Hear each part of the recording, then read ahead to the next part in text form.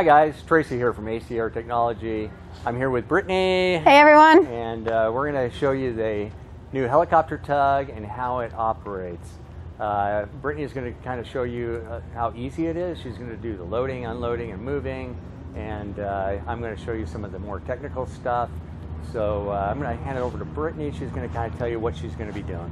Yeah, so we're here today at Chino Airport and we are going to show you our new T1 H2 helicopter tug on this Gazelle.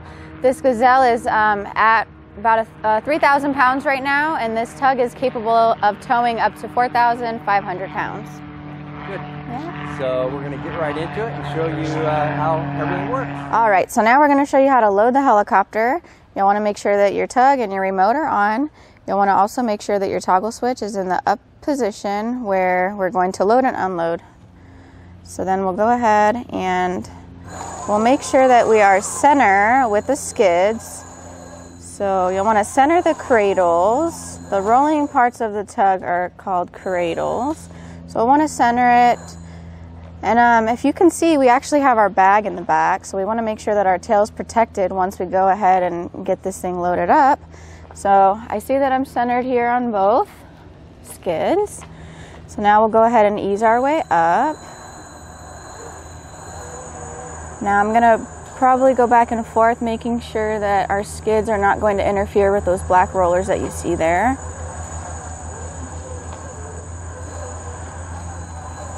Make a little adjustments if you need to. And we're going to be watching our tail end because it'll be coming down soon. Oh, it already did. we're good there. Tail's protected.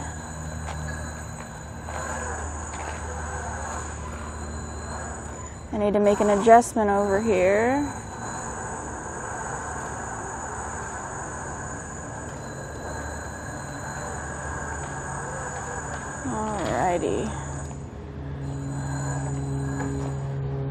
So we're loaded up good. Now Tracy will go ahead and talk about the center of gravity. Okay, one thing I want to point out after you've loaded it, before you stop loading, you want to make sure that the CG of the helicopter is uh, properly positioned over the tug. So the CG of the helicopter is approximately right down the center of the rotor. So if you follow that straight down, you want to be a good amount in front of the tug, uh, of the cradle of the tug, and actually the center of the cradle of the tug. So you want to be a good amount in front of that. If you're not, as you're towing along, your tail might have a tendency to want to fall down. The whole helicopter might want to kind of pitch up. So make sure that your CG's a pretty good amount in front but you've got to be careful. If you take the CG too far, your skids will come off of the, the cradle as well, going that way, and you don't want that either. That's another problem you don't, don't want to have to, to, to uh, hassle with because it definitely will be a hassle to get it back on there. So CG in front, skids still on the rollers. So we're going to go ahead and move the helicopter out of the hangar. Um, we have it loaded up now. We have our switch down in the down position.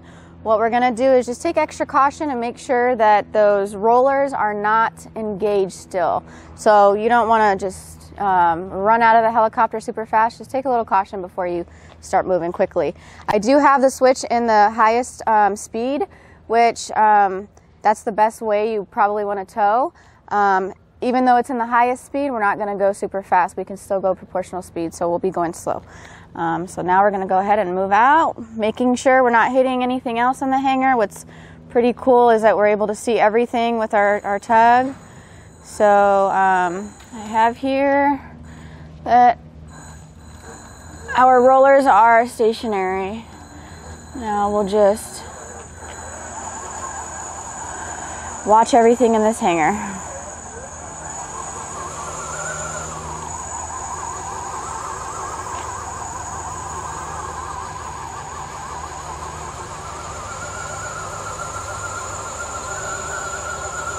Still pulling it out of the hanger here. We're gonna, okay, so Still watching my back end, my tail, making sure I'm not hitting anything. Gonna have a rotor go right over my head.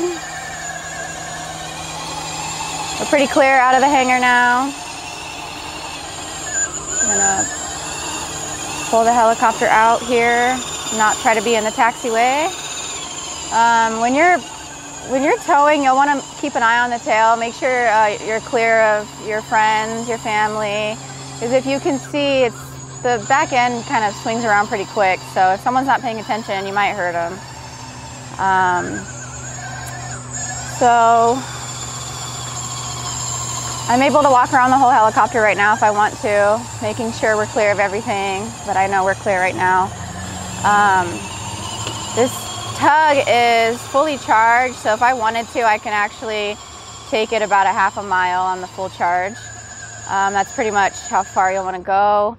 If you want to go any further, uh, you'll probably want to have some extra batteries sitting aside charging. We have a um, extra battery connector connection so that you can actually have them charging in your hangar at home.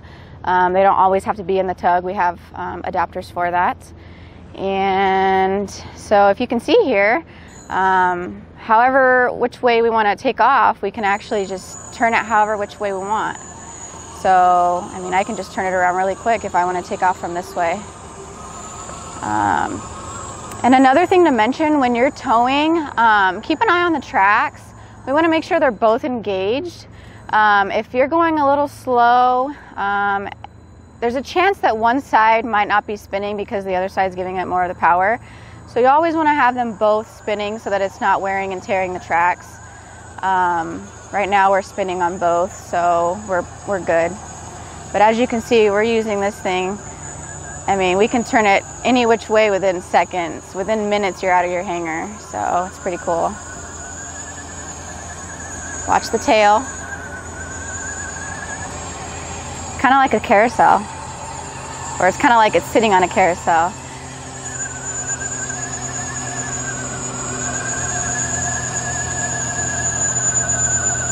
Pretty awesome. All right, so we're gonna go ahead and move it back into the hangar. We'll make sure our switch is here at the bottom, uh, which is our moving um, position. And what we're gonna do is we're just gonna go back and we're going to make sure that we're pretty much center with where we're gonna store it back in the hangar. Um, we don't wanna, we wanna minimize all the movement that's needed when we get into the hangar because we don't want the tail to be swinging around. Um, like I said, it's moves pretty quickly and it could be easily, uh, it could easily hit something.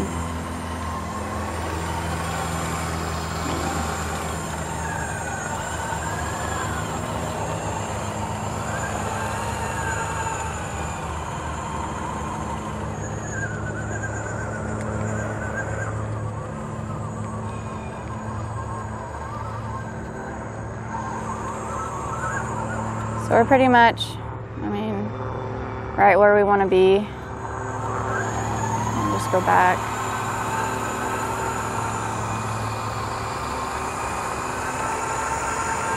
Making sure to not hit anything on the way in.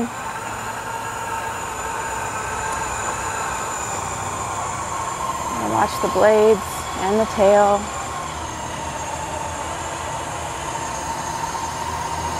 Looks like we're pretty clear.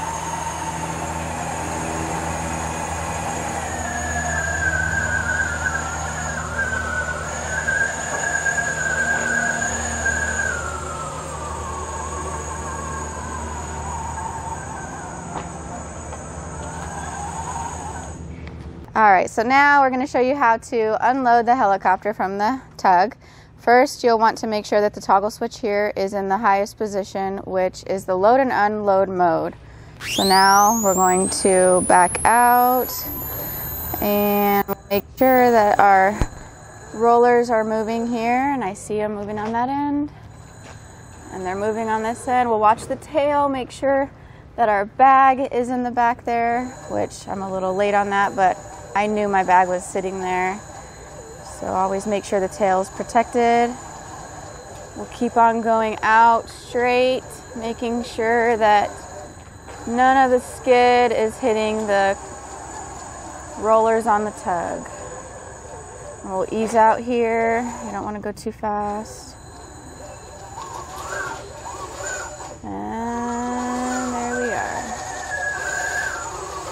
Okay, one of the questions I get a lot is can you leave the helicopter on the tug once you've pulled it in and can you just leave it on there indefinitely? And the answer is yes, you can leave it on there. One thing you want to make sure that you do though, if you leave it on, is pull an extension cord over and plug in both sides so that they charge. Now there's a charger on this side, charger for this side, and a port to plug into on this side, and there's one on the other side as well. And then you also want to plug in the radio charger and get it charging as well. So it's nice to have them all together.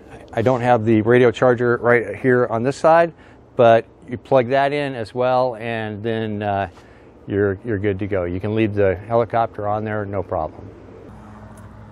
Okay, guys, thanks a lot for watching. Uh, we uh, covered, I think, most everything, uh, just the basics. So, uh, yeah, uh, if you like this video, make sure you like it on the screen and uh, yeah, give it a thumbs up. And uh, we appreciate you all watching. And I think that's it. Brittany, am I? Do you have anything else to say? Yeah, I mean, if you have any comments or questions about the tug, we always get notifications letting us know that you commented on our YouTube. So just go ahead and, and uh, message there or reach out to us. Um, you'll also want to probably check out a few other videos that we have coming up um, on certain accessories and different um, types of helicopters that you can use with our tug. So um, they'll be up shortly after this video. So just keep an eye on our YouTube. All right, good. All Thank you very Thanks much. Thanks for watching. Goodbye.